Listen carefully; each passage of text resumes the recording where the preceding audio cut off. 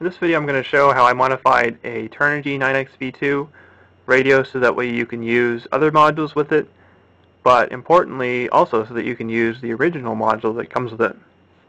The main motivation for making this video was many months ago Bruce at rcmodelreviews.com did a review of the 9XV2, here's a stock one, uh, and showed that unfortunately unlike the V1 the actual transmission module is hardwired into the radio body because the antenna is now on the body instead of on the module.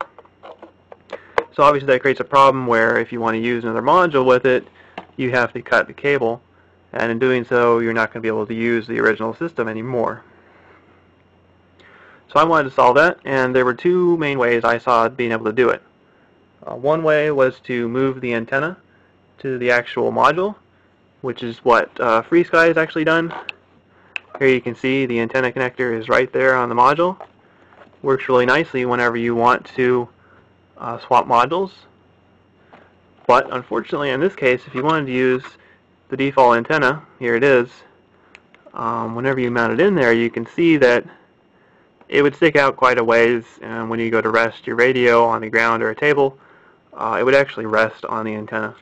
So that's not very ideal, and I didn't, I didn't really want to pursue that method. Method I chose instead was to move the module to the antenna. So as you can see here, here's the default stock system, and here's my system. It looks different. As you can tell, the, mod the antenna there at the top is a little bit different. So let's go ahead and see what I did. Let me turn on macro. Um, okay, so looking inside, we can see that basically under a whole bunch of double-sided sticky tape, foam tape there, is where I put the PCB from the Turnigy module case.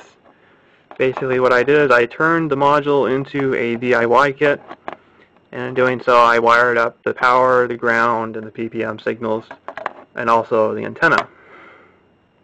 What I did for the antenna was I used one of these this is a UFL to SMA connector pigtail.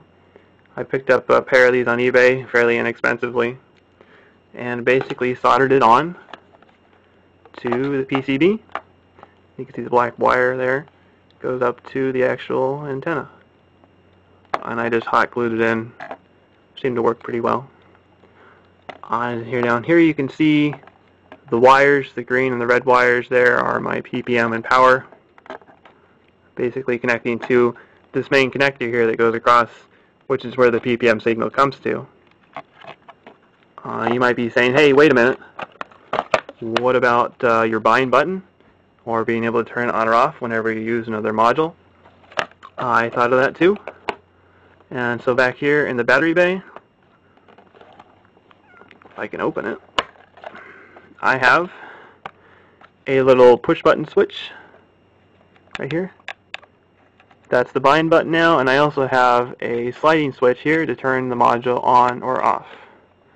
So let me go ahead and turn it on. You can see that whenever I turn it on, I've also added a blue LED up there, so you can clearly tell that it is in fact on. The internal system is on. Let me turn it off and show that whenever I turn the switch to off, turn it back on, it doesn't come on because right now the system is not powered. And also here in the back you can see the battery mod I did. This is two cell phone lithium ion batteries connected in series. Bruce at rcmodelreviews.com has a, um, a review showing how to do this, basically connecting cell phone batteries to power this radio because in fact it only needs say six and a half volts or so, or of course more to actually run because it has a 5 volt regulator inside. So that's basically how I did it. Uh, it was fairly inexpensive to do. Basically I had to buy the pigtail and then I suppose the switch and the push button. What's really cool too is I can actually remove the antenna. Say I wanted to use the FrSky module I have here in the back right now. Just remove the antenna and screw it in all the way. And there you go. You're ready to use the FrSky system if you want to. So that's just a quick look at how I did uh, modifications of this radio. Uh, I, I, I'm really pleased with the way it turned out. I mean, whenever you put this back in here, it looks very, very stock. It looks like it was designed that way. So I'm pleased with the way it turned out. Um, looks great, really. I just want to get this video out there to show people how you can modify this radio so that way you can use the original Turnigy system that comes with it, but also be able to use any other system you want.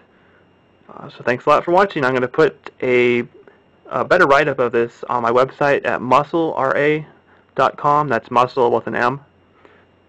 Um, just showing more pictures about the step-by-step -step process, how I actually mounted it in there, because of course you can't really see a whole lot looking at all that tape. You can see the PCB, but it's in there somewhere.